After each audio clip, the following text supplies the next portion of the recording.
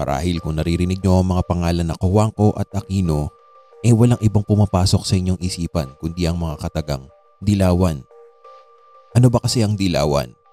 Base sa mga pangyayari ngayon sa news, dyaryo, TV at internet, ang dilawan ay isang grupo ng mga tao na kumukontra o tumutulig sa sa kasalukuyang pamamahala ni Pangulong Duterte at lalong-lalo na nung kapanahunan pa ni Presidente Marcos.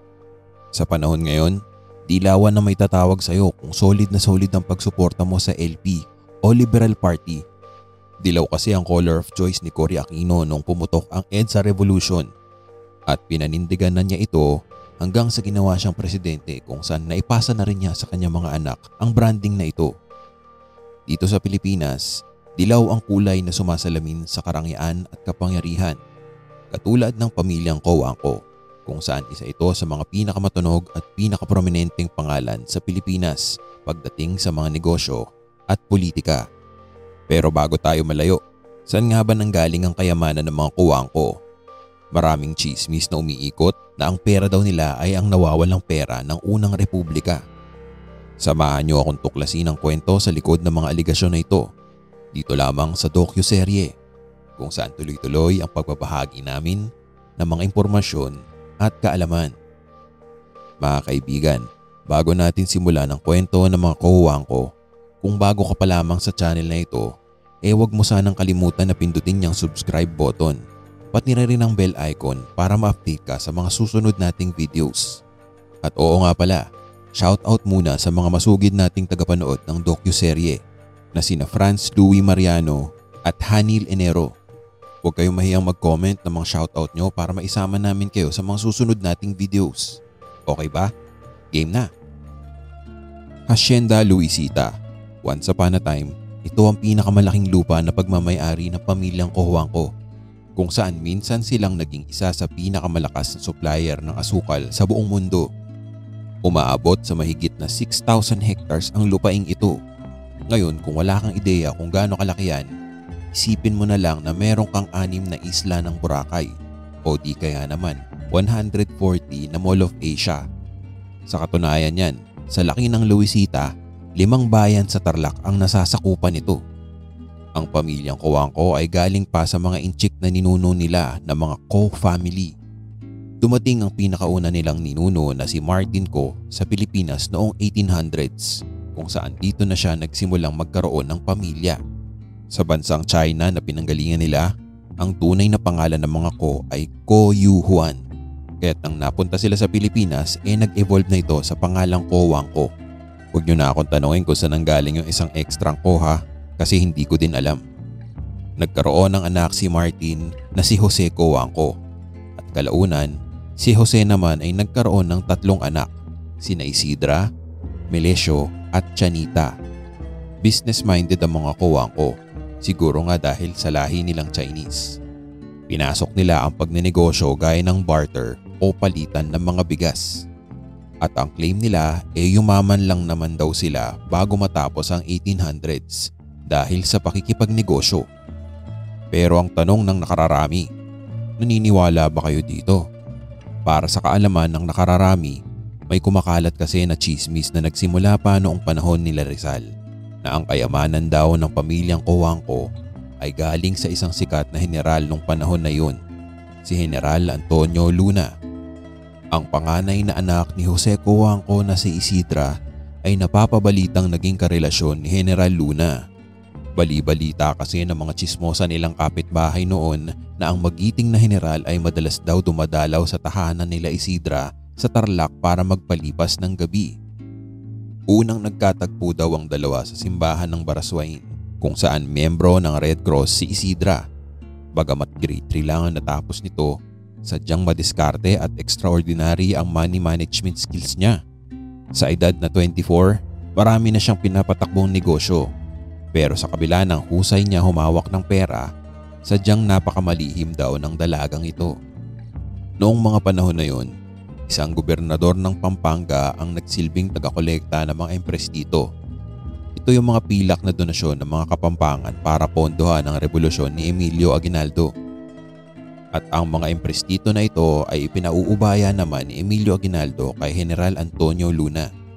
Pero lingid sa kaalaman ni Aguinaldo, nagiintrega si General Luna ng isang milyong pilak sa bahay nila Isidra dahil nais din na magtaguyod ng kapital sa Tarlac ni Luna nang hindi nalalaman ni Aguinaldo. Maraming nangyari na mga panahon na iyon.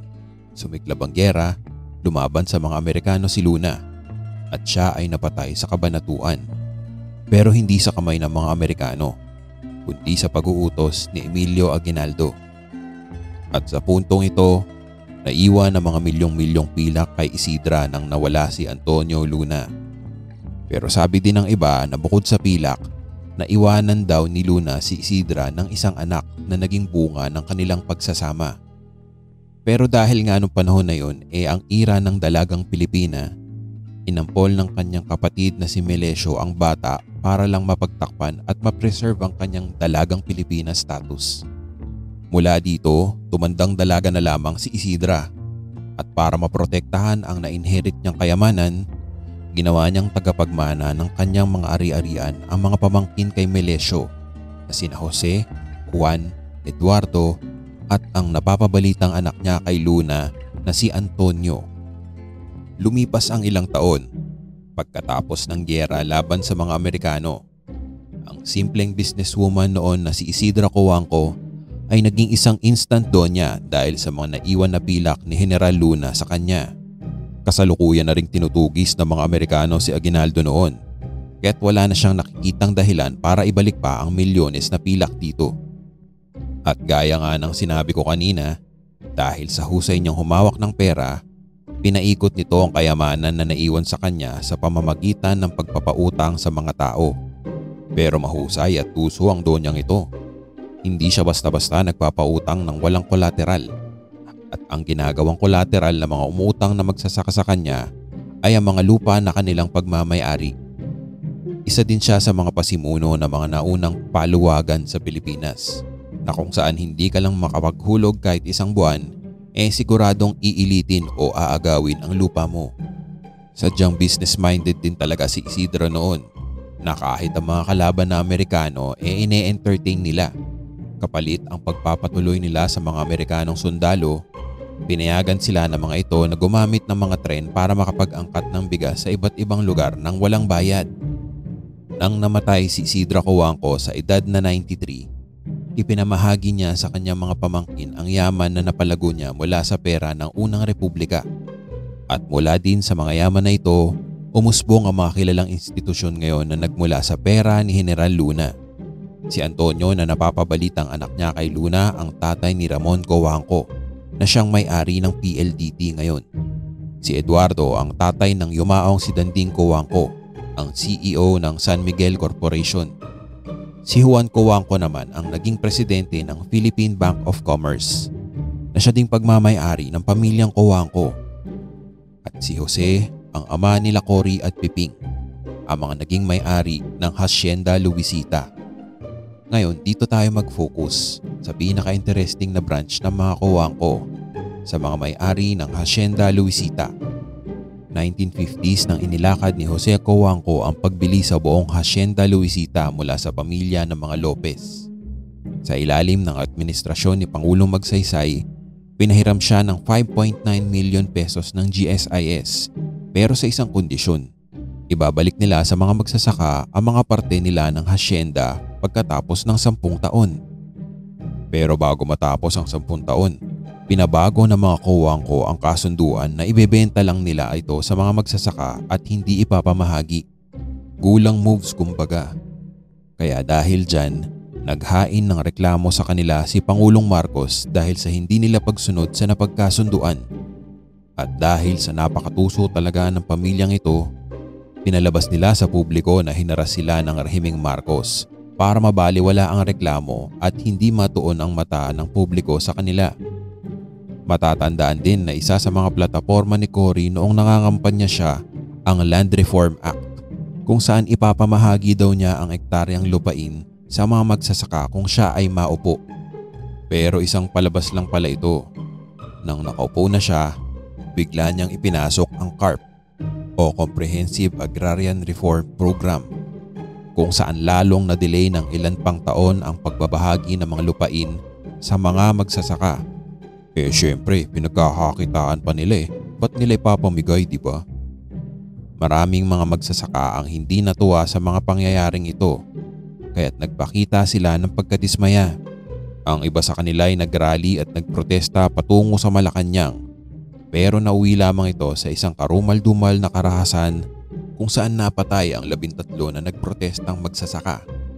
Ang pangyayaring ito ay kilala ngayon sa tinatawag nilang Mendiola Massacre. At hindi pa tayo dyan nagtatapos.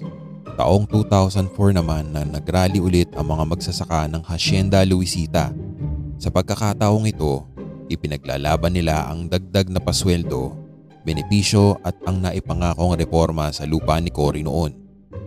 Nag-deploy ang pamilya Kowangko ng mga pulis at sundalo para kontrolin ang mga rallyista. Pero sa kasamaang palad, nauwi na naman ito sa karahasan. Pitong magsasaka ang namatay at 121 na katao kasama pa ang mga bata ang naiwang sugatan sa komprontasyon ng mga rallyista at mga pulis.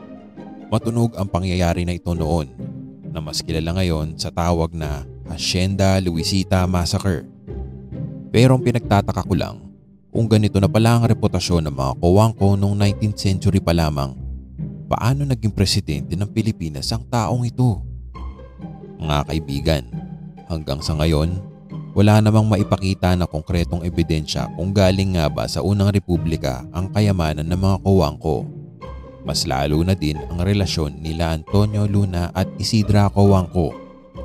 Lahat ay pawang mga sabi-sabi lamang na hindi naman nakasulat sa mga aklat ng kasaysayan. Isa pa, likas din talaga sa pamilyang ito ang pagiging mahusay sa negosyo. Maaari nilang gawing dahilan ito para palabasin na ito ang ginamit nila para palaguin ang kanilang mga ari-arian. Hindi naman sila magiging matagumpay kung hindi dahil sa husay nilang humawak ng mga negosyo.